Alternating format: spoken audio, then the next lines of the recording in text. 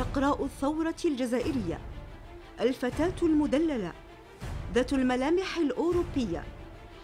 التي باعت الحياة الرغدة واشترت الوطن والشهادة. إنها واضعة القنابل في معركة قلبت موازين التاريخ في شمال إفريقيا. معركة الجزائر.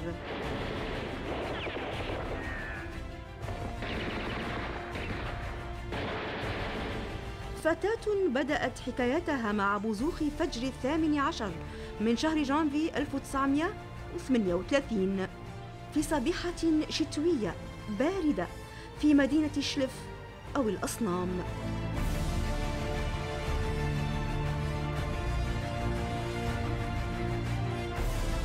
ولدت حسيبة بن بوعلي وسط عائلة غنية فكان والدها السيد عبد القادر من أعيان المنطقة وأغنيائها.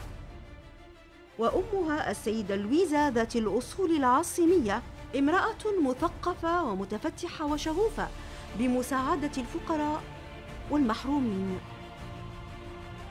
نشأت الطفلة حسيبة بمدينة شلف حيث درست في مدرسة الابتدائية الفرنسية. هناك وعرفت بتعلقها وحبها لمربيتها الخادمة ذات البشرة السوداء. التي جلبتها العائلة خصيصا لرعايتها. وبعد إتمامها لدراستها الابتدائية بمدينة شلف بمسقط رأسها انتقلت عائلتها إلى العاصمة عام 1948 فواصلت تعليمها هناك وانضمت إلى ثانوية عمار راسم. عرفت بذكائها وتعاطفها مع الفقراء من أبناء وطنها. الخصلة التي ورثتها على أمها في حبها وإحساسها بالفقراء والمحرومين. انتقالها داخل الوطن مع صفوف الكشافة الجزائرية جعلها تطلع على الواقع المرير للشعب الجزائري وهذا ما رسخ فيها فكرة التحرر من الاستعمار.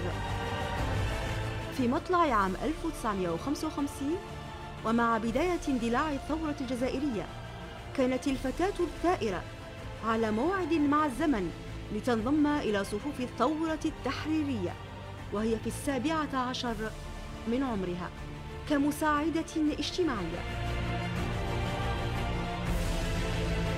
العام 1956 برز نشاطها فأصبحت عنصرا نشطا في صفوف الفدائيين مطلع أكتوبر 1956 تم اكتشاف أمرها من طرف العدو فغادرت حسيبة بيتها العائلي ملتحقة بالمجاهدين في القصبة العتيقة.